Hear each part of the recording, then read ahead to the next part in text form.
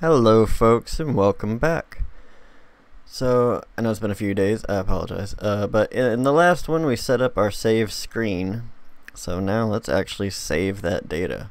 So, but the first thing we want to do before we do this is, um, I'm going to open up my player blueprint real quick because I need to add a variable to her. This is going to be my SP location, which is save point location, so that when we save the data we'll know where they were at. Because if you remember, we set these statues up where they can have different locations. So now I'm going to open up the save point, because right here at the very end where we've opened the menu, uh, I'm just going to cast to my player, get player character, and then set SP location to this one. Alright, now with that all done, in our Save System folder, I'm going to right click and add a Blueprint class. Now it's not going to be any of these.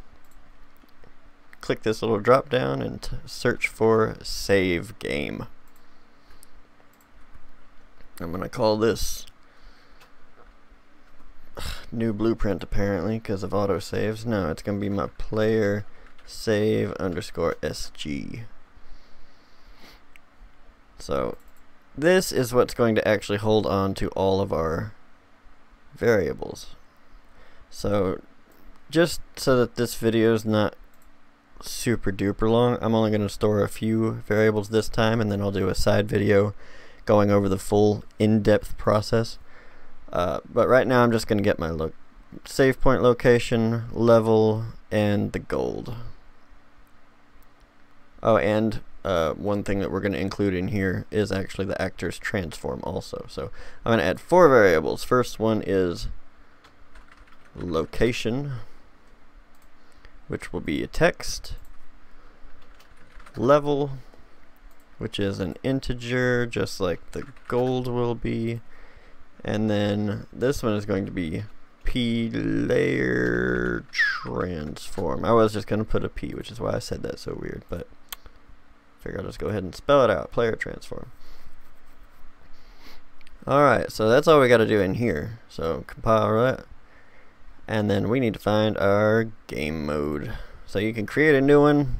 I'm just going to use the third person game mode that came with it. So I'm going to double click and open that up. Open the full editor and then I'm going to add on a begin play node. Cast to my player. This is just so that when we get to the loading point later on, it'll be easier. We don't need this just yet. But this way it's in place when we do. And that's going to be my player reference. Alright, so now we need two custom events. Well, just one for this, just for now.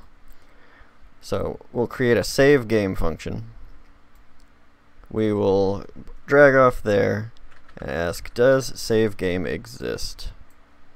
Now on this custom event, I'm going to add an input. Since we're having multiple slots, let's uh, let's just call that save slot, and it'll be an integer.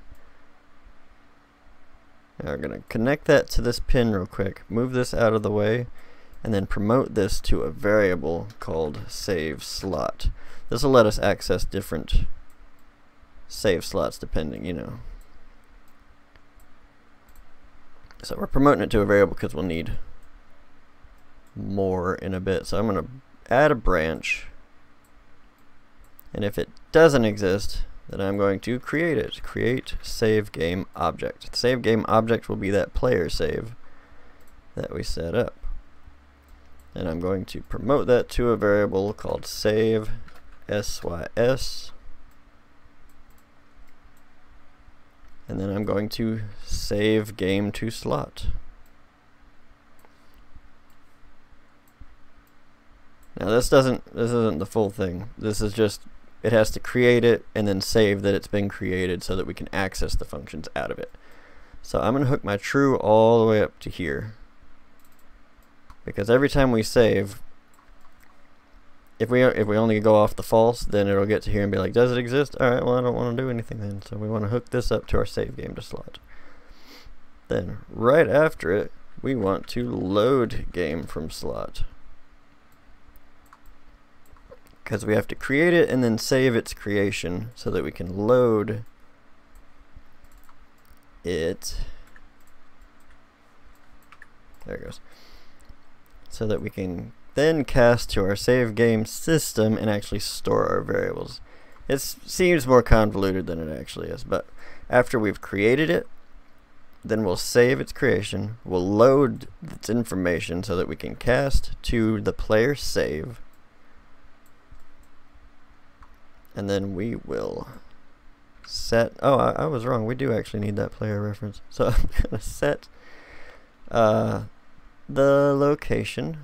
I'm going to add a sequence node so that we can hit everything that we need to. So I'm going to set location, set level, set gold,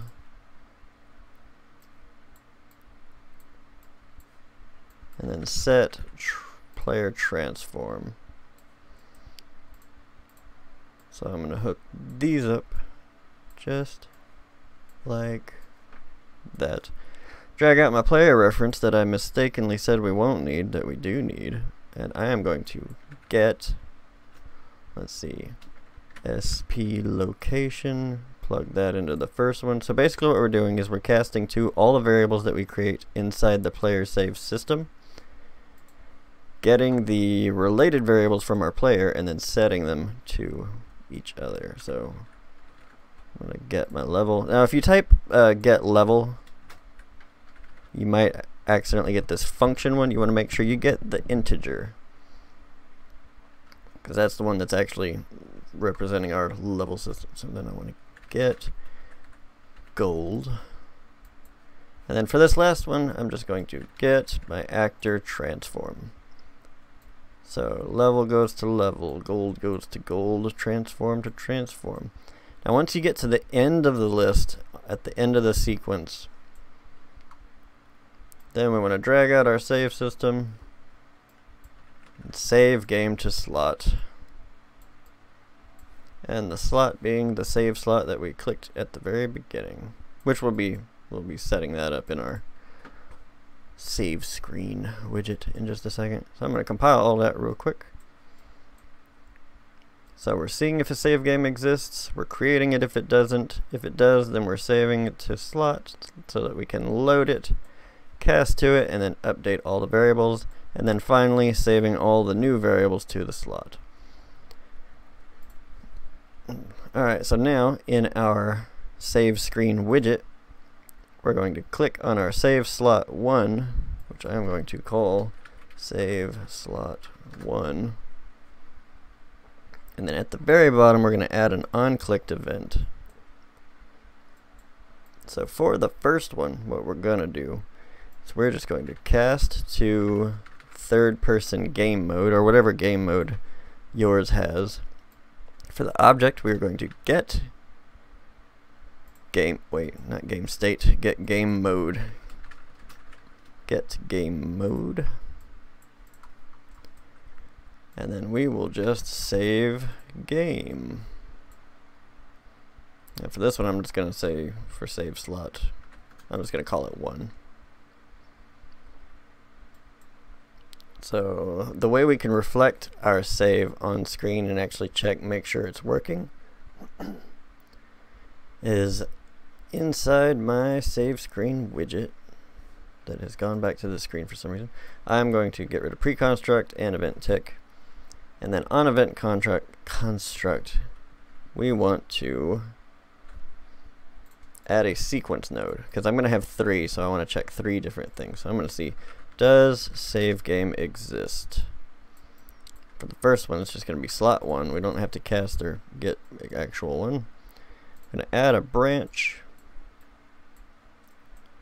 Don't need to create it. We just want to worry about if it does exist, and then we need to update all this. So, does it exist? If it does, then we will cast to our save. Wait. Play a save. There it is. how did I do this on the other one? Let me check. Let me check one more thing. That's the wrong one. Does save game exist? Oh, then we just load. Okay. I skipped a step. I went back to the wrong screen. So we don't cast just yet. We need to load game from slot. Slot being number one, and then we cast to our player save game. Because we can use this return value as the object.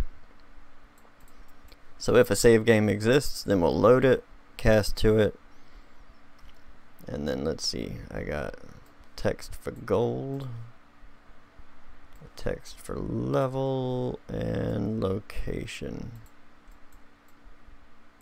So this is just to show you that it's working. So I'm going to cast to the save. I'm going to set text of text. I'm going to add a sequence node right here.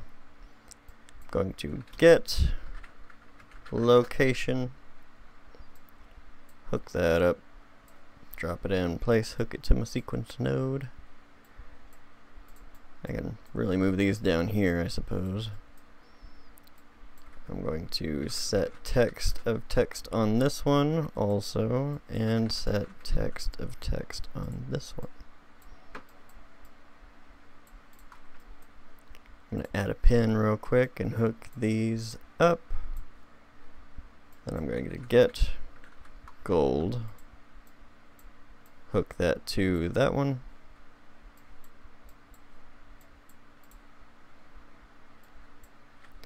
And then get my level. Oh, this looks bad.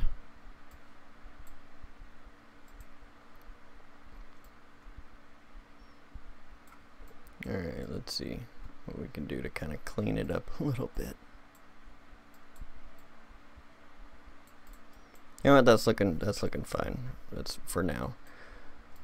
So one thing I like to do personally is uh, when I have this level, I don't want it to just be a 1. I like it to be 0, 1. So to do that, to adjust how many numbers it'll actually show, right here where it converts the integer to text, this minimum integral digits, it's how many, like, so if it just has 1 like that, then it'll be just like that. It'll be just a 1. But if you put 2, then it'll be 0, 1, 3, 0, 0, 1, etc.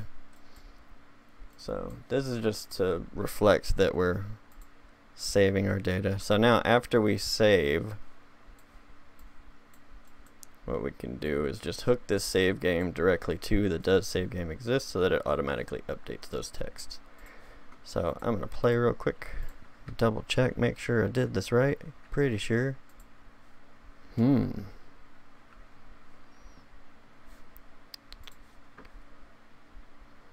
What's she doing wrong? What did I do wrong?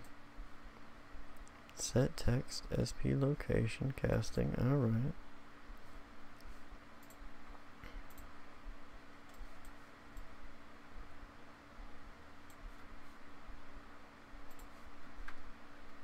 Hmm.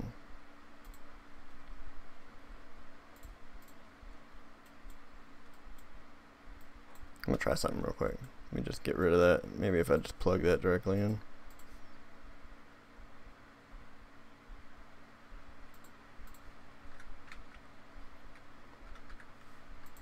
Ah, okay. So, uh, what I did wrong was I tried to use that, that set. We can actually get rid of that and just plug directly in uh, because we have to, we can't do that. You gotta plug that directly into the save game to slot casting to it, then we'll just drag down for the save game object just like that. Otherwise it won't work right, apparently. So yeah, but there's my save information.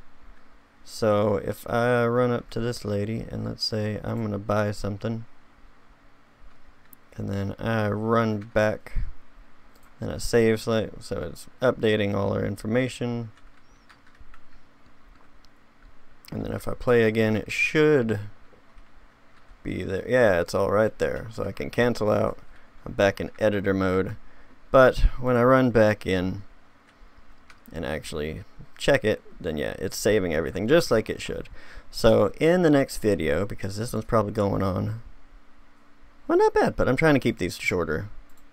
But uh, in the next one, we'll actually set up loading so that we can, well, actually in the next one, I'll uh, be going over all the rest of the variables uh, to save every, because we got to go through like our character's entire inventory, uh, their gear, setting it up to where when they load in, if they had equipment equipped, it'll automatically spawn back on them and everything. So we're going to go through all of these in the next video. So that's that's to be fun.